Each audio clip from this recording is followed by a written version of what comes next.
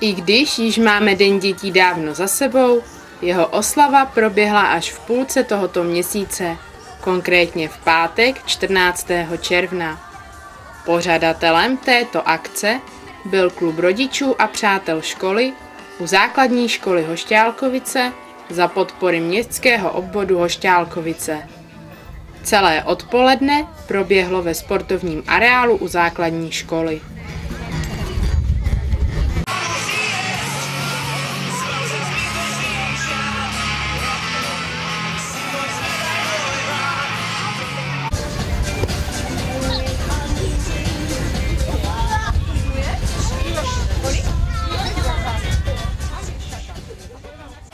Pro děti byly připraveny různé atrakce. Patřil mezi ně klasický skákací hrad, dále skákací hrad ve formě překážkové dráhy. Ale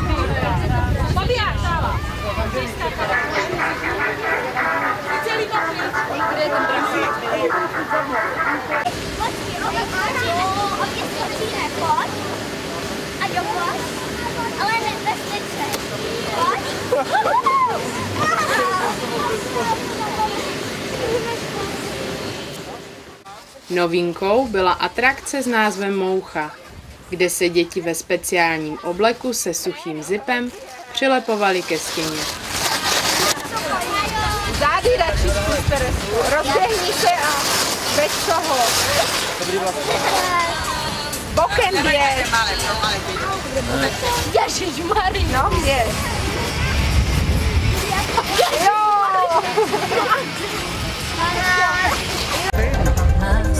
Adam se jde malovat. Adam, Adam na nech. Ani letos nemohlo chybět oblíbené malování na obličej, které opět zaujalo plno dětí.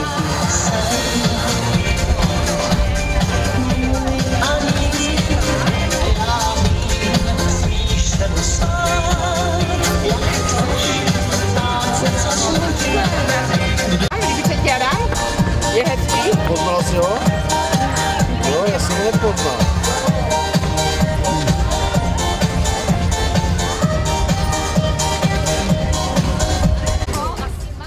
Přítomné děti také mohly vyzkoušet výtvarné dílny, kde si například vytvořili vlastní originální tričko.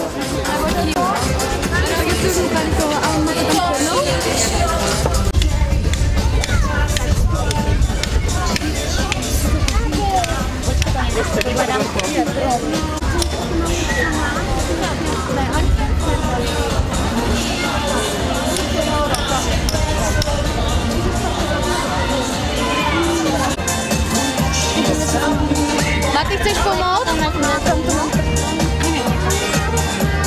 Maluj, bo druhé děti taky budou chtít malovat, víš? Co broučku, a nemám ti to malovat já? Třeba tu, no a k tomu přidáme třeba tu zelenou, to může být pěkné. Tak. A budeš mít. Nějak nové. A jako na každé akci pro děti byla připravena jízda na poníkovi.